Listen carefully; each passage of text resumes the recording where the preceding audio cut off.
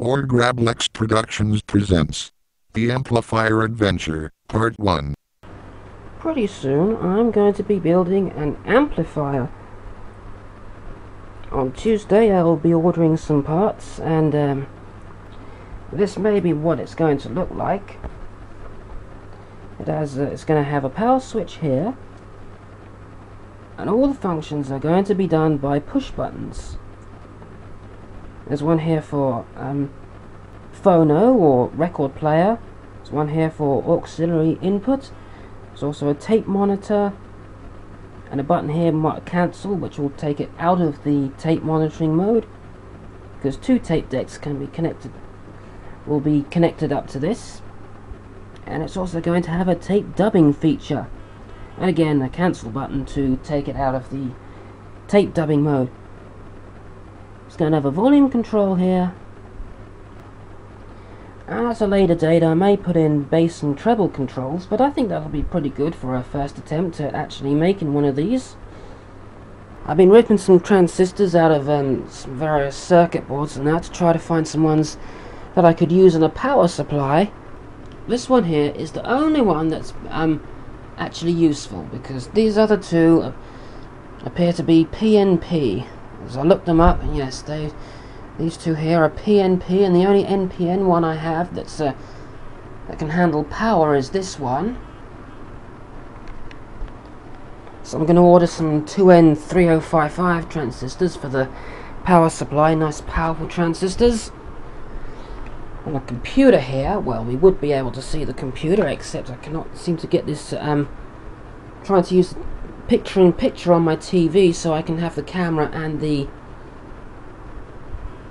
computer on the on the screen at once, but it doesn't seem to want to let me do that. It only wants me. It's only going to select the um, high definition sources, so that's pretty much out. I cannot get this back to normal. I hate this TV. It's so bloody awkward to use. Right. Okay, there's the computer. Um, just um Remote's just gone kamikaze. It's done a lemming. Anyway, uh, I got the schematics here of some power amplifiers I could build. Now, Dr. Cassette says I could use um, chips, but I'd rather use discrete components.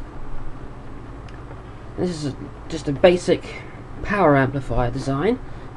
And go to the next one.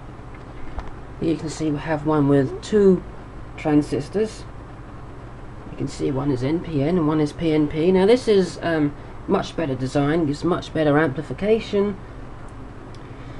But there's a little bit of a distortion with that one, so I'm not gonna... I'm going to build that and uh, just out of curiosity to see what kind of sound quality it gives. And this is what I'm going to do to it when I actually build it for real with those two diodes there which help bias the transistors better. Now that should give me a good enough sound, but if it doesn't,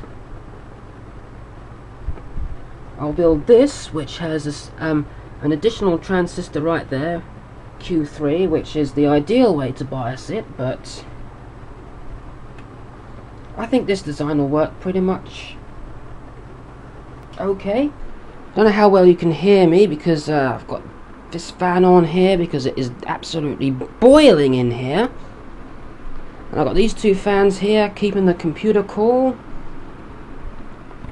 And uh, got some old tape decks out here which I never use. I'm going to use them for the connectors. Let's just put the camera's light on, might be able to see it better. So some nice connectors there, and there's another one in there. It's got plenty of connectors, so I won't have to buy any of those. It's just another circuit board I might rip some parts out of. What a piece of crap.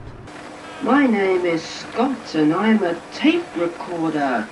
Shut up, nobody's supposed to know that we're able to talk for ourselves. Oh, sorry. Yeah, I forgot that. I better shut up then. I will blink you to death with my super bright LED. As um, here. Nee, hier bestemmen. Things are getting really, really weird here. Okay, that's enough fooling around.